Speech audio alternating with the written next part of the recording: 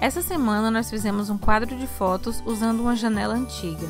Meu esposo e eu sempre vamos à loja de antiguidades e a gente sempre acha tudo muito interessante, mas nunca compramos nada.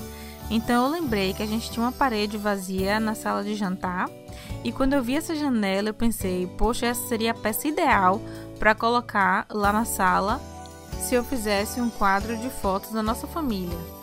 Então a primeira coisa que a gente fez foi colocar a janela na parede para ver como ela ia ocupar o espaço que a gente tinha. Como a janela tinha seis espaços, nós selecionamos seis fotos. E escolhemos fazer todas em preto e branco para combinar com a cor neutra da parede. A melhor maneira que nós achamos de colar as fotos no vidro foi usando cola em gotas, porque ela é transparente e já vem pronto como se fosse um adesivo.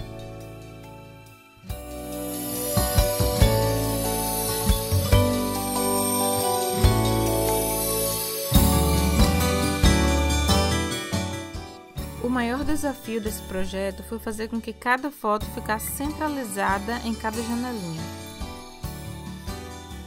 Depois de medir a janelinha e a foto, nós nos demos conta de que tínhamos 2,5 cm de cada lado.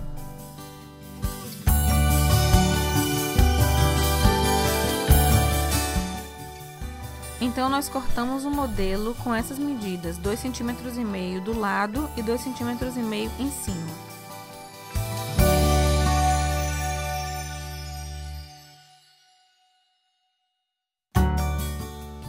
E assim nós medimos e colamos todas as fotos.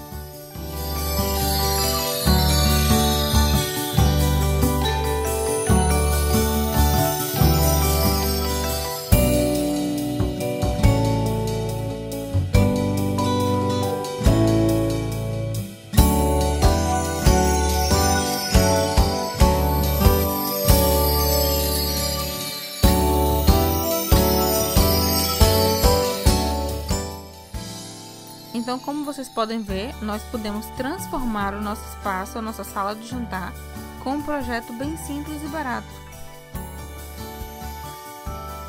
Espero que vocês tenham gostado e até a próxima semana.